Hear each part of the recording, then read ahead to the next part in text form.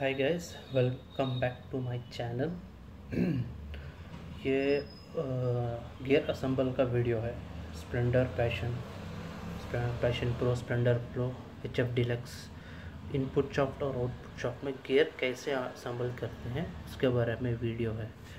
तो शुरू करते हैं। Input shaft output shaft input shaft में यह गियर परमानेंट फिक्स रहता है। ये मोल्डेड आता है। अगर से ये गियर ख़राब हो गया बोले तो ये ये जो है ना इनपुट शॉट का फ़र्स्ट गियर है। अगर से ख़राब हो गया बोले तो ये पूरा शा, ये शाफ्ट ही चेंज करना पड़ेगा। ये देख लीजिए।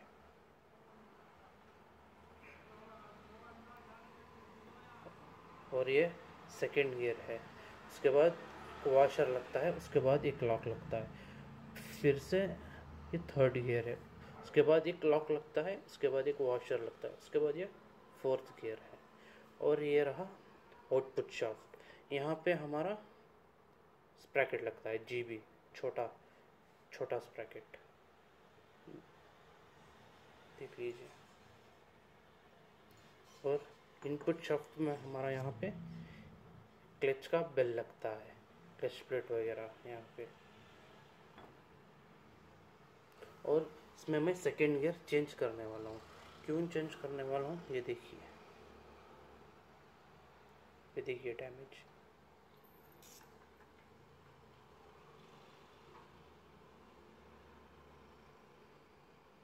दिख रहा है आपको क्लियर से? यहाँ पे डैमेज देखिए। ये कटना शुरू हो गया है। ये देखिए। ये देखिए। ये देखिए, कितना डैमेज यहाँ पे देखिए, कितना डैमेज है। यहाँ पे देखिए, ये कटना शुरू हो गया है। ये सब इंस्पेक्ट करना पड़ेगा। एक बार इंजन आप खोलेंगे तो इंस्पेक्ट करके डालिए। ये सेकेंड गियर है। और मैं फोर्थ गियर भी चेंज कर रहा हूँ। ये तो हल्का कटा हुआ है, लेकिन चेंज करना बनता है। चेंज कर दिया तो ही बेटर है। दिखाता हूँ कहाँ पे है। ये देखिए। ये देखिए ये देखिए। यहाँ पे कटना शुरू हो गया। देखिए। क्लियर से कर देखिए देखिए। यहाँ पे देखिए। कटना शुरू हो गया, देखिए। देखिए।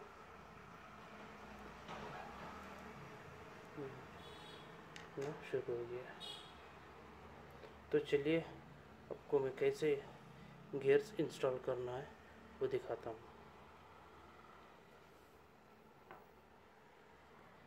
इनपुट इनपुट शाफ्ट का नया गियर है। इसका और दाम देख लीजिए, कितना महँगा है। सेकेंड गियर वो भी 655 और इसका पार्ट नंबर भी देख लीजिए।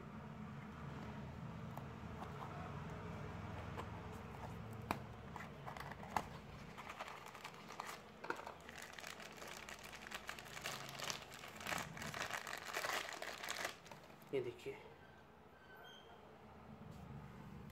और ये जूना वाला, पुराना, ये देखिए। यहाँ पे कितना डैमेज है, कट चुका है। इसलिए मैं चेंज कर रहा हूँ।